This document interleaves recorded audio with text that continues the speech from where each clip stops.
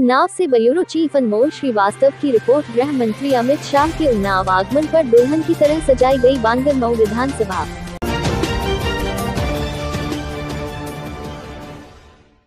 आज उन्नाव में अमित शाह गृह मंत्री भारत सरकार का आगमन है, जिसको देखते हुए उन्नाव की बांगरमऊ विधानसभा से अपनी दावेदारी पेश कर रहे पुनीत गुप्ता ने पूरी विधानसभा को दुल्हन की तरह सजा दिया है, जिसमें पूरी विधानसभा बैनर पोस्टर और होल्डिंगों के अलावा रंग बिरंगी लाइटों से सजाई गई है, जो पूरे विधानसभा क्षेत्र में चर्चा का विषय बना हुआ है। लोगों का कहना है, पूरी विधानसभा में भाजपा के पुनीत गुप्ता के सामने कोई भी पार्टी या प्रत्याशी टिकता हुआ नहीं दिखाई दे रहा है। इसके अलावा पुनीत गुप्ता ने गृह मंत्री अमित शाह की उन्नाव में होने वाली जनसभा के लिए भी बहुत ही विशेष तैयारी करते हुए 250 से 304 पहिया व बस जैसे बड़े वाहनों की व्यवस्था की है, जिनसे बांगरमऊ विधानसभा के कई हज़ार लोग अमित शाह का संबोधन सुनने के लिए उन्नाव पहुँचेंगे।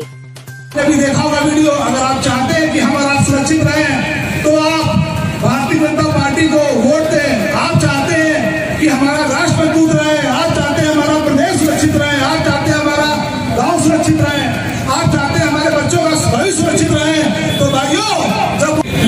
जब से 2017 में भाजपा की सरकार आई है तो हमारा प्रदेश आज पूरी तरीके सुरक्षित है।